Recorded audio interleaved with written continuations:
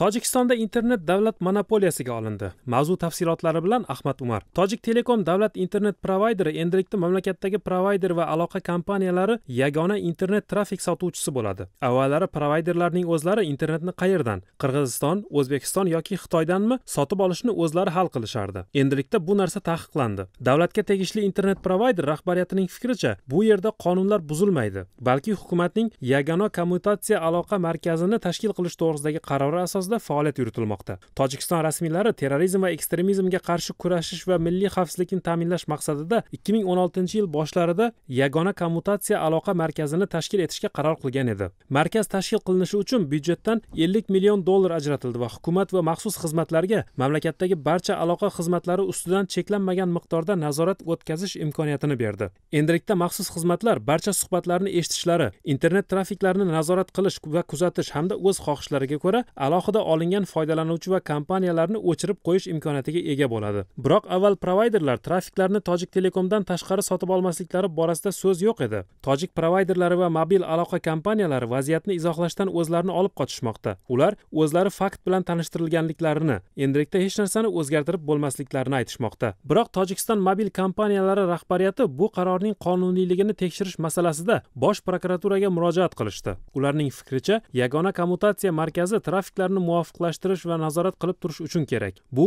jahon savdo tashkiloti a'zosi bo'lgan mamlakat internetni monopoliya qilish huquqini anglatmaydi. Chegara bilmas muxbirlar tojikistonni qizil hududga ya'ni matbuot erkinligi va internet sohasidagi vaziyat qoniqarsiz bo'lgan mamlakatlar safiga kiritdi.